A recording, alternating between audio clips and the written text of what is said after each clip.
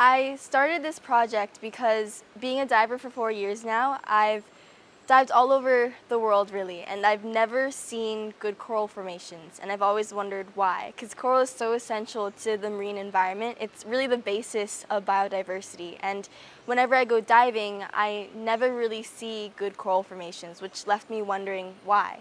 And so when I talked to my friends about it and just my parents to see like to gauge their interest in coral, there wasn't a huge interest, which was really concerning because coral is so important. Coral only covers 0.0025% of the ocean floor, yet it yields 50% of the oxygen we breathe, and it absorbs 33% of the carbon fossil fuels we burn. Yet we're seeing a rapid decline in Thailand and in all over the world of coral bleaching, and which is really, really concerning. There's been a rapid decline of coral all over the world due to warming climate, due to, due to plastic pollution, and just due to human contact with coral, which is very concerning. And so this inspired me to start this youth-led organization called Care for Coral, which intends to rehabilitate coral reefs all throughout Thailand.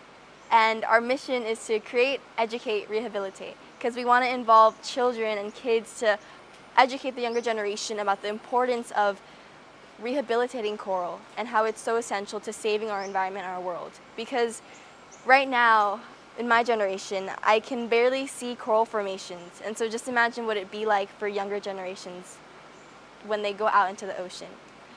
I feel like my generation at least, and a lot of younger generation as well, they are aware of this problem, of this crisis, of this global warming crisis and how a lot of species are becoming extinct, but being aware is one thing and caring about it is another. Because once you care, you're ready to make an impact. But I want everyone to know that making an impact can start really simple and small. Like all of us can make an impact by just collecting garbage and just by throwing away and separating garbage so it ensures that it doesn't go into the ocean and causes the corals to disease and die off. Because right now there's 11.1 billion tons of bits and pieces of plastic in the Pacific Ocean alone, in the Asia Pacific Ocean alone, and that is causing corals to bleach at a massive rate. So it's just small things that we could do every single day. So we started a few weeks ago and the first group of divers already went, but today we're going to have more students to get certified in order to go to our Koh Tao trip to go help construct the bottle nurseries that we plan to do or as well help add on to artificial reefs in the area. So on the 8-9, we go to Samae San, which is where these divers, where these new divers will get certified. And after that, we continuously teach them. We're going to host seminars about how important coral restoration is and the techniques that we're going to be using in October. And then in October is when the kids will be able to construct their own bottle nurseries.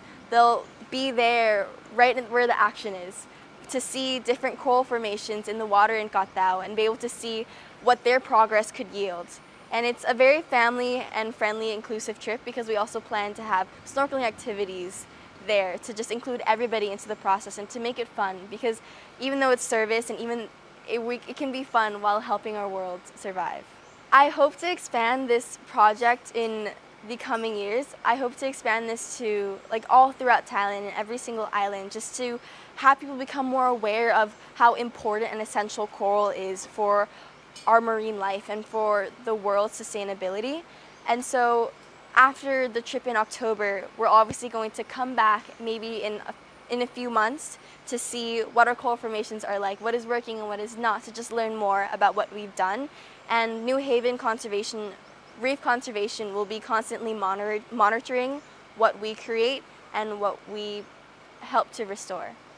I feel like a lot of kids, at least my generation and obviously the younger generation, we're all taught in school about climate change and how much it affects us. Like everyone is aware of that issue. But since it's always so forced upon us, we feel this pressure to act, but some of us just don't know how. And some of us think that we can't because we're only 16 or we're only 15, 14, 13, whatever. But again, we can always start small. And if we don't start now, when will you? Because it takes just one simple urge to want to create something new, to want to help the world and to help the ecosystems. And it's not that hard. If you are interested and passionate about something in the environment, talk to your parents about it. Talk to your friends about it. Because if you talk to more people, that idea will grow and it will actually be placed and you'll be able to grow from there. So everyone has the ability to do something to help the ecosystem and I think that's what's important, our own ability and our own passions to drive us.